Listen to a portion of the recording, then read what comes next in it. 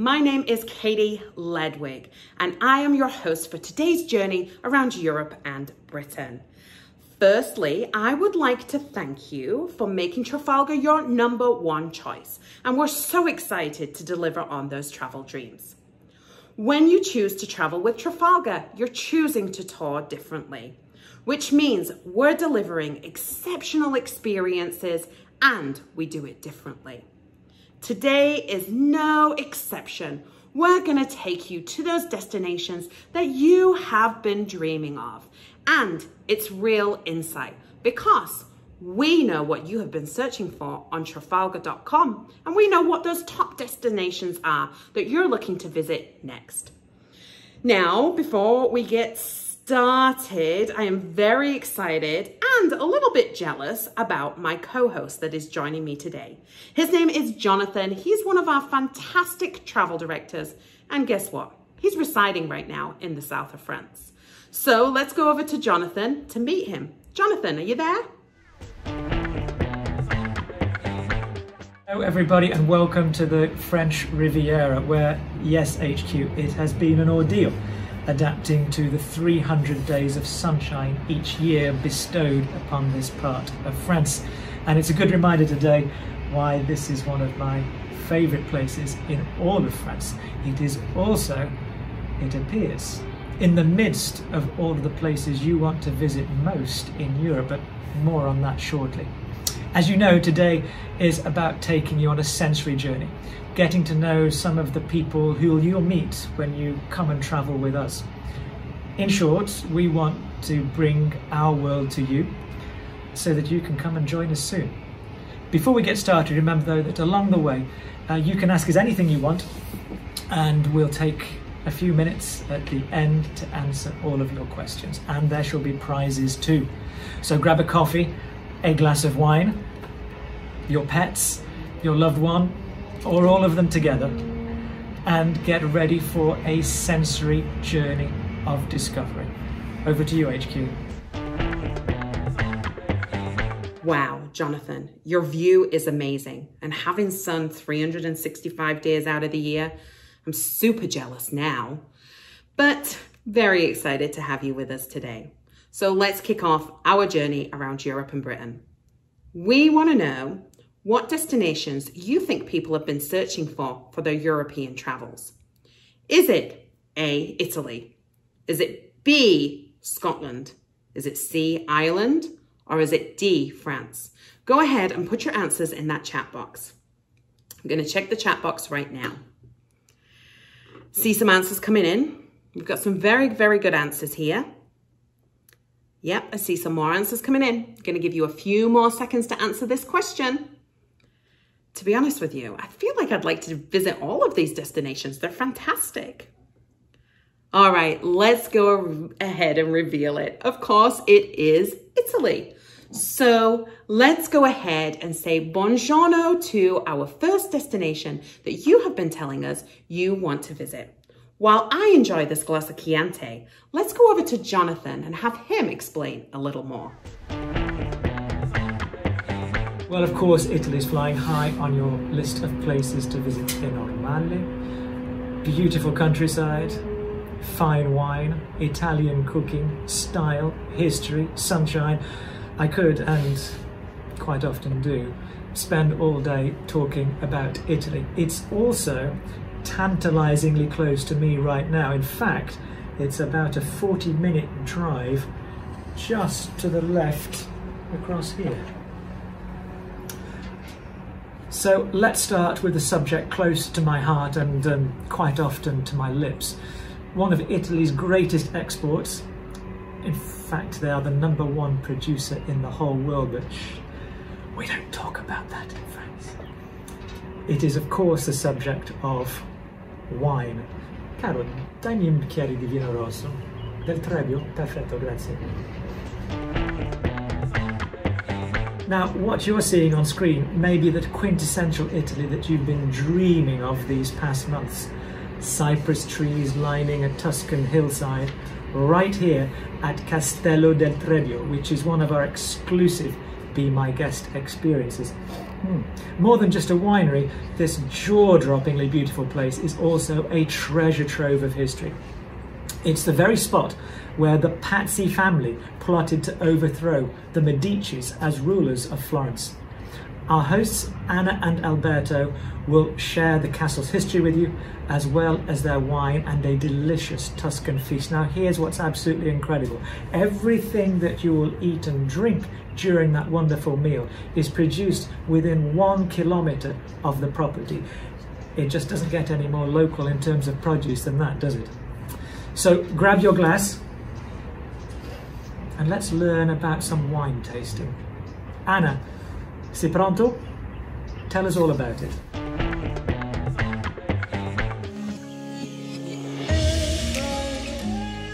Hi, here we are at, at the Castello del Trebbio. Please come in. What we're going to taste, it's uh, one of our most important wine.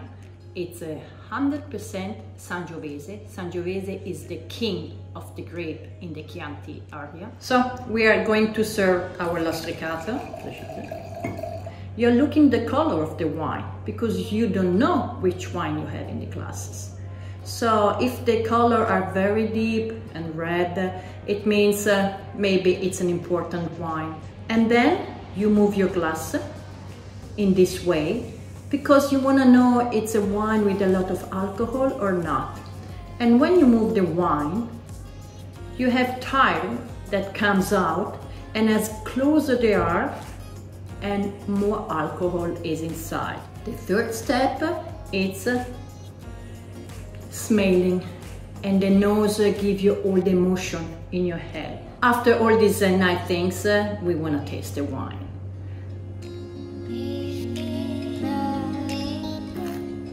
When it's mean tasting wine, it's mean uh, take some wine, keep it in your mouth and try like close your eyes and find out the emotion that the wine gives you. And this is what we are looking.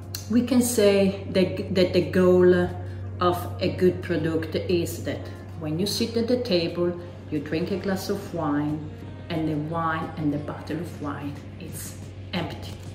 So I wanna say alla salute, don't forget us. This is our most interesting Chianti Rufina. Our, the name of the wine is Lastricato. We have more than 50 year, 50 vintage in our cellar that waiting for you to share beautiful emotion. Alla salute and I'm waiting you. Ciao! Salute, Anna, and thank you for the four steps on how to drink wine. And Jonathan, thank you for the mozzarella and the basil for my caprese salad. Now, while I finish my salad and wine, let's head back over to Jonathan to learn more about Italy. This time, we want to see an experience that is all about culture. Jonathan, can you help? Thank you, HQ. Yes, Italy has such a depth of culture and it really is the cornerstone of Western civilization once you get to know the country more. Literally thousands of years in the making, and we want it to remain intact for the next thousand years, which is why we need to make travel matter and leave a positive impact on all the places we are so privileged to visit. An illustration of this is our next guest, the wonderful Marta Cucchia. She is one of the last remaining Renaissance weavers in her studio in Perugia, Italy. She's here to tell you her story and how she's missing you, our Trafalgar guests. Trafalgar helped save her business, in fact, several years ago, so she could continue to produce these beautiful and intricate fabrics. Buongiorno, Marta. Hi everyone, I'm Marta. I'm the great granddaughter of Giuditta Brozzetti. She founded this atelier in 1921 and now, after four generations, we are one of the last and weaving studio in Italy. You can imagine how glad I am to work here every day. Please follow me, I'm gonna show you where I design my creations. This machine is original from 1750, but the technique is medieval and I'm still use it. This is a pedal loom and I control the warp with my feet. For every different position of the pedals, I have a different point of design. and I'm designing, I'm making the design with my feet.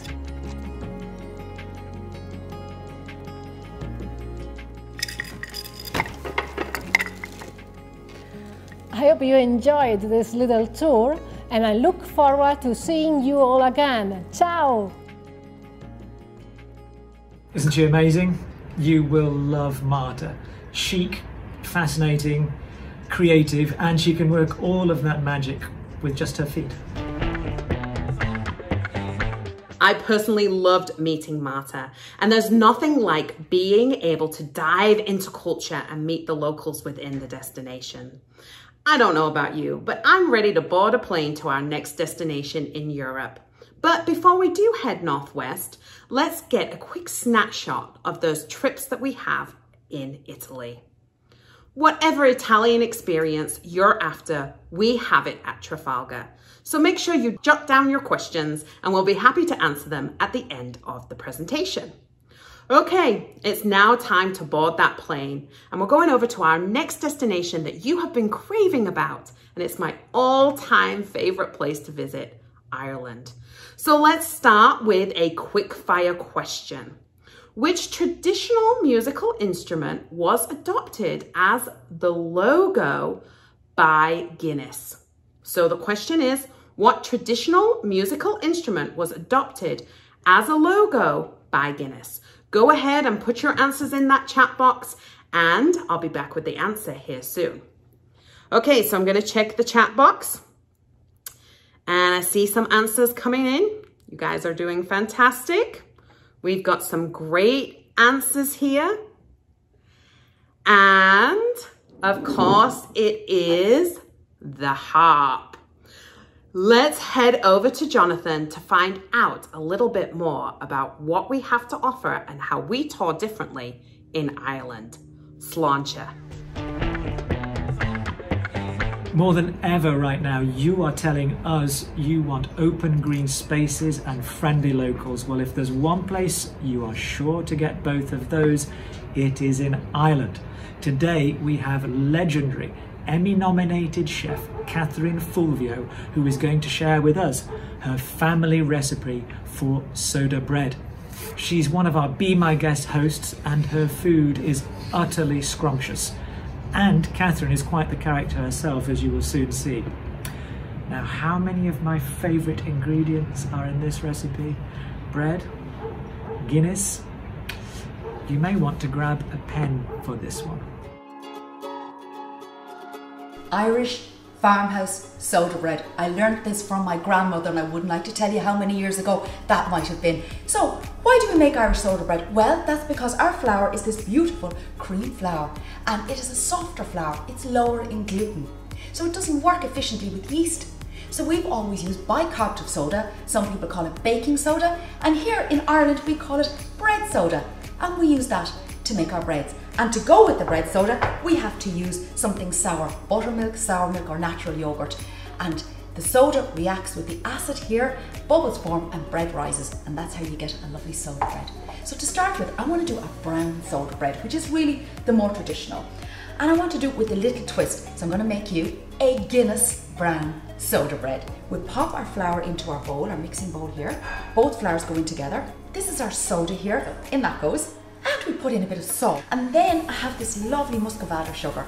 That's optional, but I like the little bit of sugar in it. I think it gives a nice color. And then I have my clean hands and I put my hands in and I just aerate by mixing my ingredients together like this. And would you believe we're nearly finished? We now make a well, little hole in the center, and then we have here our Guinness and we have our buttermilk. I'm just gonna mix the buttermilk. You can just use the handle of the spoon here and pour that in. And then we put in some Guinness. The Guinness gives a lovely kind of deep shade, but also a lovely malty flavour out of it. Let's give that a little mix and see how we get on. And already I can see the soda reacting with the buttermilk. So this here is our mixture. It doesn't have to look glamorous, it just has to look like that. And then this goes into a loaf tin. So this is how my mother used to make the soda bread. So it's a lined loaf tin, very simple, and we get our ingredients from here to there and into the oven. The other thing you must do when you make soda bread is you draw a line down the centre, like this.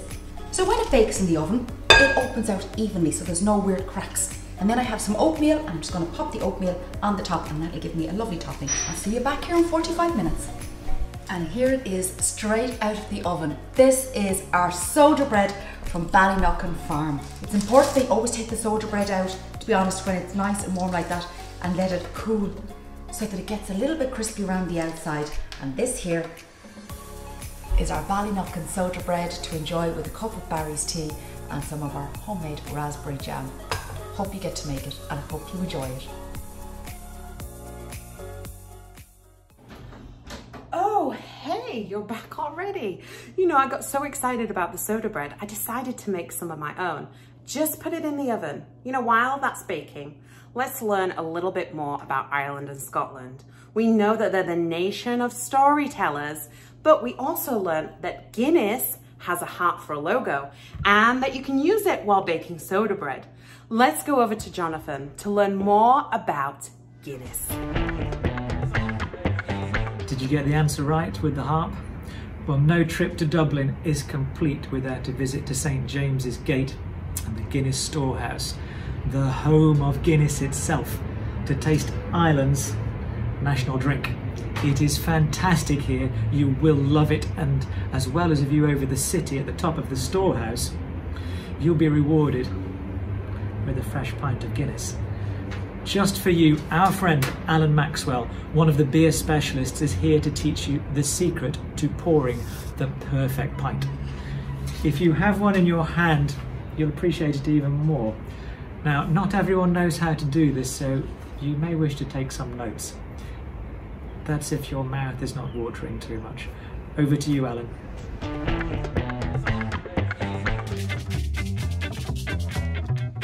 So hello ladies and gentlemen, you are very welcome here to the home of Guinness at St James's Gate. My name is Alan Maxwell and I'm one of the beer specialists here in the Guinness Storehouse. Today, I'm going to teach you how to pour the perfect pint of Guinness. The first thing we do whenever we want to pour the perfect pint, well we take a Guinness branded glass. We use this because the gold harp on the front is going to be our reference point and a Guinness glass is flat bottomed on the inside which allows our nitrogen gas to escape. The next thing we need to do is we rest our glass against the top nozzle. We rest that against the inside of the gold harp and we hold our glass at a 45 degree angle. Pull the tap handle all the way down. As the beer goes into the glass, we're slowly going to straighten it. And when the liquid reaches the top of that same gold harp, well that's when we're going to stop. And that is the first part of our two part pour for a Guinness draft. Why? Well, what we have going on now is what we call the Guinness Surge. If you look at our pint, you can see that it's got a very skinny head at the moment. There appears to be something falling down the sides and it's just a little bit dark on the bottom. What's happening now is that nitrogen gas that we use, that's shooting up out of the pint. 30 million bubbles in there, all trying to get out. And as they do so, that's what forms the beautiful head on top. You can see already as some of the gas has escaped and settled and cleared at the bottom, the head of the beer is really starting to thicken up where we want it to be. What we're going to do next then is we're going to top it off. Now, the reason we stop at this point is it's at the widest part of the glass and it allows the head on the beer to develop. In Ireland, we want it about two centimetres. That's the preference we like. Now we can see that the pint is fully settled, the gas has escaped and the head has developed. Like I said, we're ready to top it off. But this time, we're not going to pull the handle towards us. We actually push it away towards you, the customer. When we do this, it limits the amount of pressure and flow that goes into the pint, so you don't have to wait for it to settle all over again. You've been patient enough. So we take our pint, we hold it underneath the tap, and like I said, we're pushing towards the customer this time. We want the pint to fill up so that a small part of the head sticks out of the top in a smooth, creamy dome. We serve it with the logo facing forward, and that should be the perfect pint of Guinness. From when I start to pour until I serve it to you, should take 119.5 seconds. Enjoy.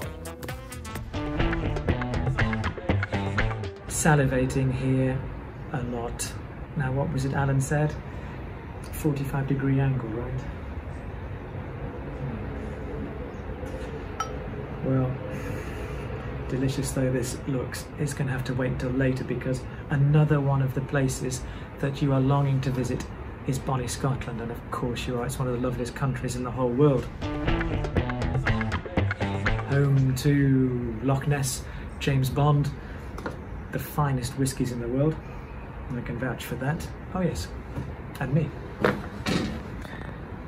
So it's time to hand over to two of my fellow countrymen and to more of our Be My Guest hosts, Fergus and his son Gregor Wood.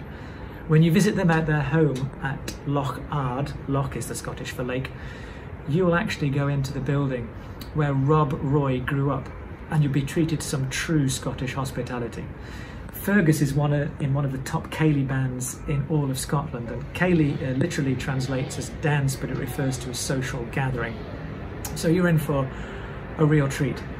This farm is located in the Trossachs National Park near the world famous Loch Lomond.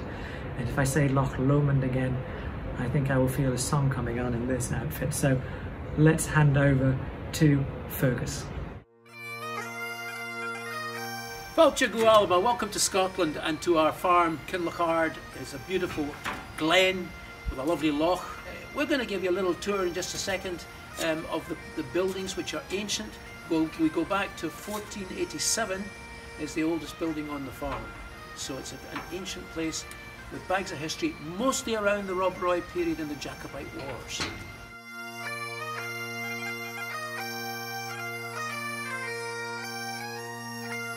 This is McGregor's barn, where dinner or lunch is served.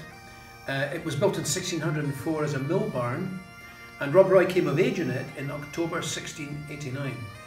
As you can see, there's a lot of weaponry on the walls, uh, weaponry of the Jacobites, and Rob fought at the Battle of Killiecrankie, the first battle in the Jacobite Wars in July 1689.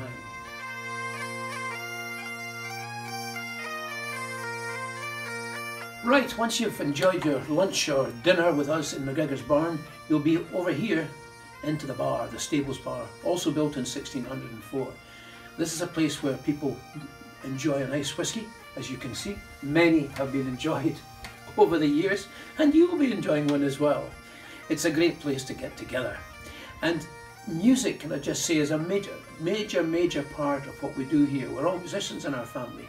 So we thought we would give you a wee sample, a lovely slow air entitled Hector the Hero after Hector MacDonald, the great Highland general, featuring Gregor on the small pipes and me on the harmonica.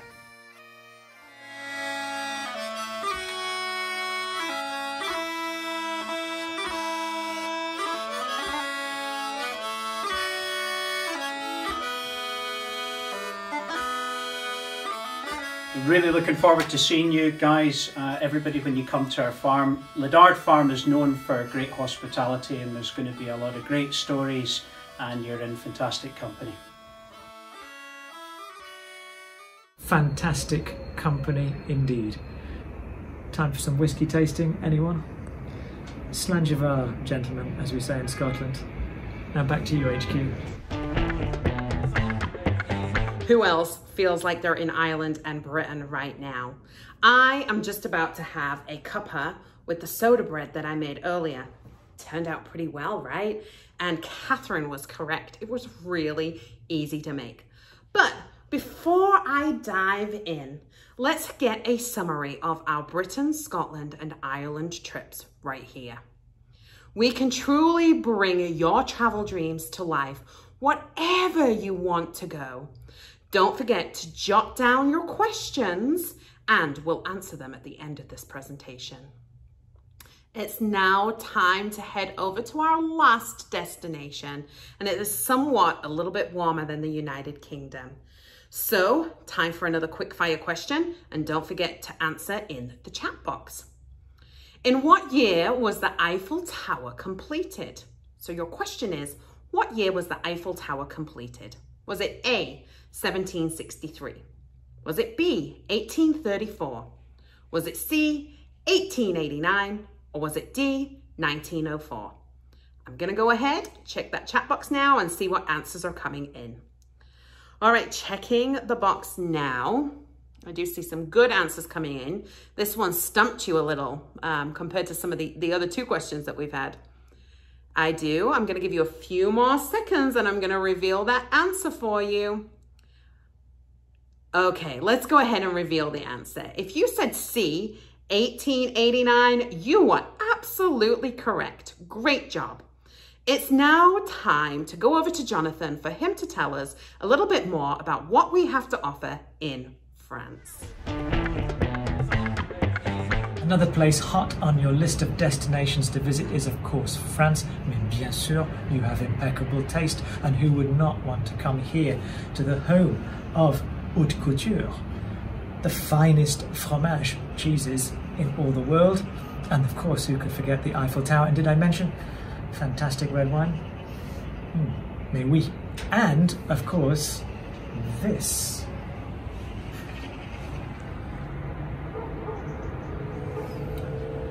We also want to take you though on some experiences that are off the beaten track and this is all the difference about touring differently. One of those experiences is meeting the delightful Poppy Salinger. Now to our American friends, that name may ring some bells because her late husband, Pierre Salinger, was none other than press secretary to JFK. So yes, this lady has a tale or two to tell. But rather than hearing from me all about Poppy, let's go and meet Poppy herself with her son and chef Emmanuel at her home in Provence, La Bastide Rose, which is located just about two hours across there by the setting sun. Over to you, Poppy. So this is La Bastide Rose. It's our wonderful place in Provence, in France, of course. And uh, we love to share it with everybody, but we'd love to share it with you. And we are going to show you a little bit of the garden, the river, everything that we enjoy here, which is nature. We have had this house for 20 years, and for 20 years now, we've put it together, and every day, every year, we make it a little better. Now, let's go to the museum. We have a small museum for Pierre Salinger. He was my husband, but he was mainly press secretary to John Kennedy. And I'm happy to share with you a little bit of history. This is Pierre Salinger Museum. This is his picture for his 50th anniversary of being a journalist. And uh, we would like to show you all these different aspects of his life. And of course, a lot of pictures. Um, the most important picture is, of course, the day uh, John Kennedy knows he's been elected for the presidency, and this is in Hyannis Port with Pierre. I've been cooking for 16 years here in Provence, and I'm so happy to share all my best recipe with all the ingredients that I've been growing here or getting in the market with all the farmers product, all the zucchini, the, the eggplant, uh, with uh, some, uh, some great uh, fish or meat and uh, we'll be having such a great time eating together and sharing wine. In France, we love to share a welcome drink called apéritif. And in Provence, the best one is rosé. So let's come and cheers. Wow, Poppy. Culture, history, and food all in one experience.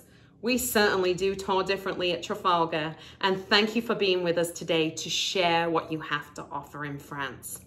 You know, France has gotten me so excited. Let's go ahead and see a summary of what we have to offer there. And remember, jot those questions down. It will soon be time for our question and answer session. As you can tell from our journey today when traveling with Trafalgar, not only are you going to get experiences that are not available in any guidebooks, but we are going to make it easy for you, which means you can sit back, relax, and enjoy your hard-earned vacation. Well, that's it from me. As I go to enjoy some cheese, bread, prosciutto, and wine, I want to say thank you for joining us today. We are very, very excited to welcome you onto your next Trafalgar trip. And we're going to head over right now to answer any questions that you have about any of our Europe or Britain trips. So that's it from me. Cheers.